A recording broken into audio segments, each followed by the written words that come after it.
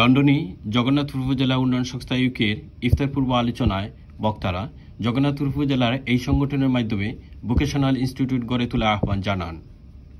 দুই এপ্রিল মঙ্গলবার বিকেলে পূর্ব লন্ডনের নিউ রোডের স্থানীয় একটি অভিজাত রেস্টুরেন্টের হলরুমে জগন্নাথপুর উপজেলা উন্নয়ন সংস্থা ইউকের সভাপতি, ঢাকা বিশ্ববিদ্যালয়ের প্রাক্তন ছাত্র চন্দন মিয়ার সভাপতিত্বে এ সভা অনুষ্ঠিত হয়।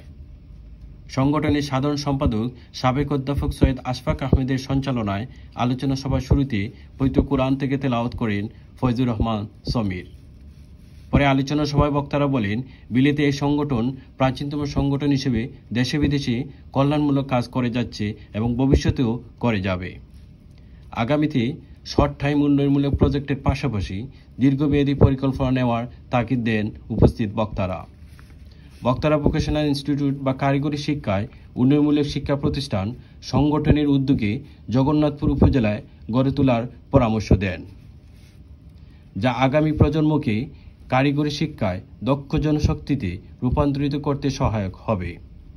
সংগঠনের পক্ষ থেকে প্রবাসীদের দ্বারা এসব প্রজেক্ট গ্রহণ করা কোনো ব্যাপার না।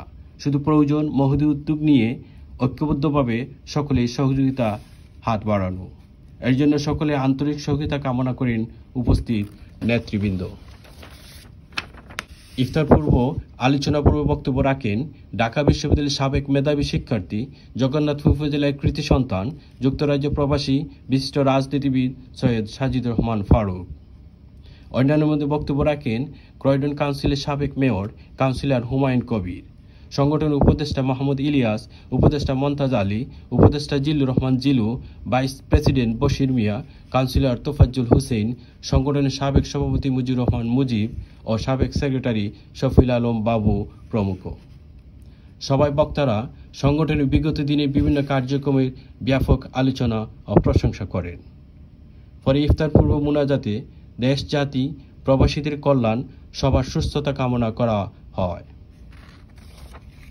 لنكونن من الخاسرين ربنا فاغفر لنا ذنوبنا وكفر عنا سيئاتنا وتوفنا مع الابرار اللهم ربنا كما ربياني صغيرا اللهم امين اللهم اني اسالك الجنه غير ثم لما نخرج الله ابراهيم যারা উপস্থিত সকল নিয়ে খায় দান করুন জগন্নাথ আলমিনের কাছে এবং আল্লাহ রাবুল আলমিন এবং রাসুল সাল্লাহ ইসলামের যাতে কানেক্ট করতে পারে সেই ব্যাপারে আমরা সবাই সচেষ্ট হই আমরা এখন সবে কদর যে কোনো রাত্রি হবে আমরা এই লাস্ট টেন ডেজের আমরা এই সুযোগটা আল্লাহ রাবুল আলমের কাছে আমরা নেই আল্লাহ রাবুল আলমিন আমাদের জে টাইমস টিভি লন্ডন